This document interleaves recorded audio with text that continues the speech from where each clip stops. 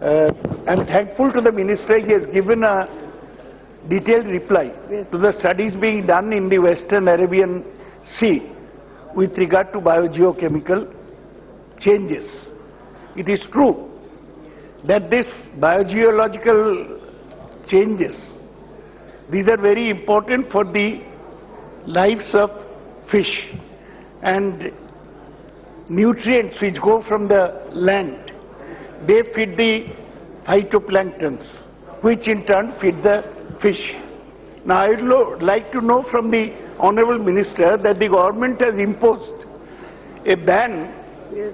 on trawling during the monsoon.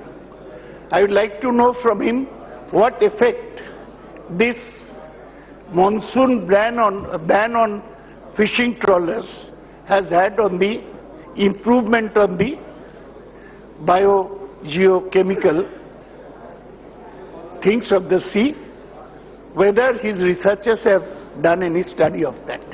My second supplementary is that mainly this uh, evolution of phytoplanktons and other nutrients for the fish, they depend on a thing called upwelling, which is the rise in the level of the sea.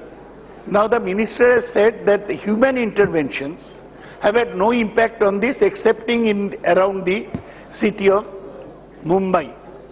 Now the Supreme Court has already initiated the coastal regulation zone.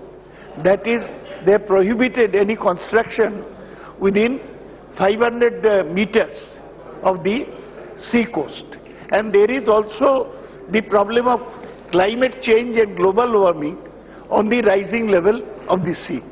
May I ask the Honorable Minister whether he is considering any change in the coastal regulation zone requirements so that this Yes, yes. spoiling of the sea's natural uh, situation is prevented by human from human intervention.